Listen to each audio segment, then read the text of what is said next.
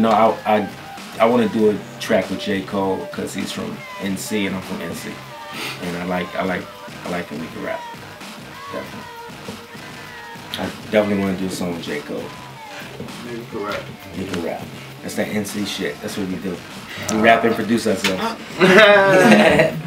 Knowing the relationship that you have with both Dame and Jay, and Mhm. people really not knowing the relationship between them at the moment, and you being like stuck in the middle, I guess, with your history. Mhm.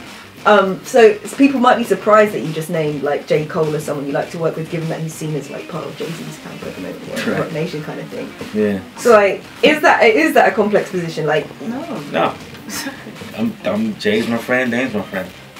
If, if hey, if I could do a record with J. Cole and Jay said, yeah, cool, do it, and Dame like, I don't give a fuck, then we're gonna do it, you know what I mean?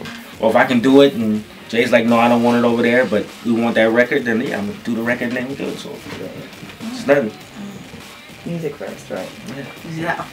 Yeah, if I ever hook up with him, it's gonna be serious, I know. It's gonna be good. It's gonna be hip hop.